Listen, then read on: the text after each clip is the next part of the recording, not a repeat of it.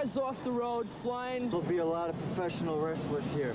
Maybe covered with soot or cockroaches. They'll still be here. Like Neo Stark, like nothing. It's just going to be a very cold and um, like closed society. We sort of have faith in the human race. We think it's going to look a lot better. What will the world look like in a hundred years?